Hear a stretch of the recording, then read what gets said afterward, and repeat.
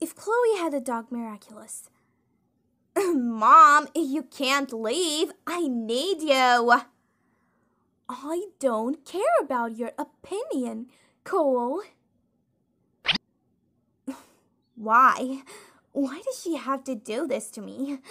I wish I could stop her. But how? Hmm? Hey, Mom! Oh, what do you want, Claudia? Huh? Ouch! What was that, Kagole? Nothing, Mom. A few days later. I can't believe Mom moved back to New York. Don't worry, I can bring her back.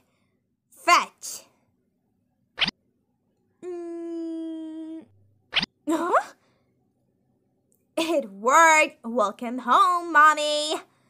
Clarissa, what are you doing here? Home? No, I was in the middle of my wedding with Mr. Lee. You will pay for this, kawaii. Uh, hold on. Did she just say wedding? Thank you so much for watching everyone. Make sure to subscribe to my channel and hit the bell icon so that you never miss a video. I really appreciate your support. Till then, have a nice day.